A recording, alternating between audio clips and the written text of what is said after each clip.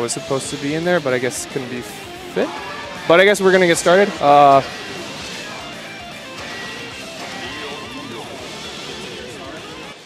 now, better check in with the CEO. I don't know where the, the guy's running brackets, but uh, that's where Guilty Gear is. Stick around there.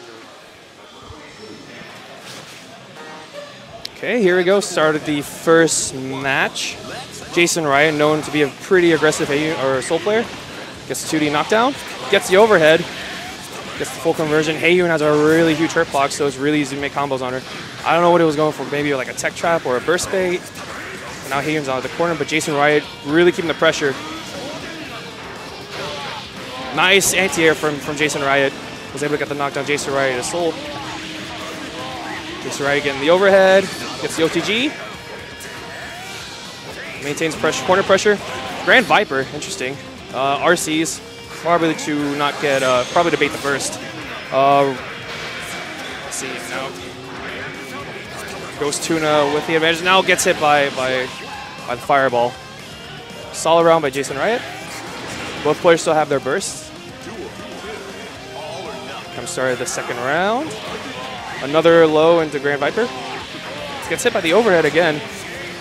Ghost Tuna an opt in the burst. 6P counter hit. Oh, that 6P is very, it's a very good frame trap for Sol. Uh, even if it trades with certain normals, Sol will recover fast enough, and six, counter hit properties of 6P is very good. Has great knockback.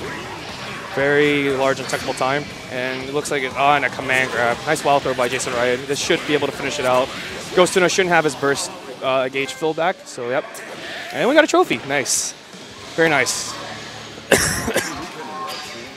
so they're just going to go right back into it.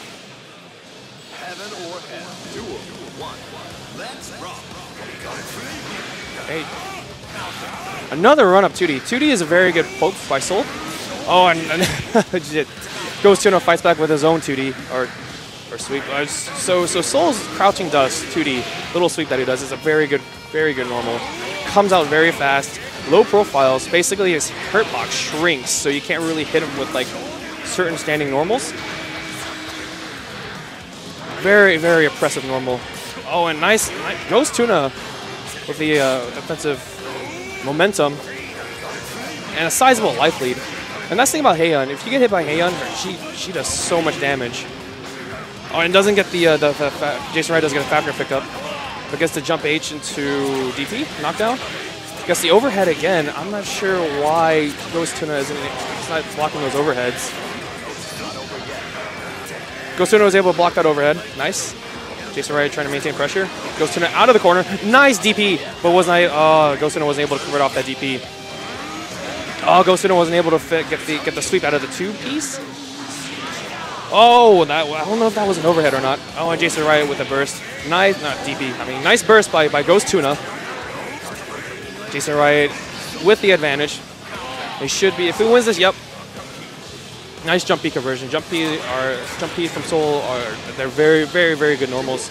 Can't really challenge them. They come out very quick. Has sizable hitboxes. Oh, counter hit Fafnir. That's going to be huge for Jason Riot. Nice pickup. It's about 25%. It's really good on Heiyun. Landing low. Mix up from Jason Riot. Gets the full pickup. Nice and simple. Gets OTG for extra uh, damage. Jason Riot baiting the burst again, but good frame of mind from Ghost Tuna to not burst. Not giving Jason Riot any opportunity to bait the burst. 3-6P. Oh my god, 3-6Ps from Jason Riot. Really wanted to fish for that counter hit. Ghost Tuna opted for Hayabusa after the 2D, just push Jason Riot in the corner, but that's not working well for him. And this should, no, OTG. And this is looking very, yeah, this is very convincing win from Jason Riot. So Jason Riot advances.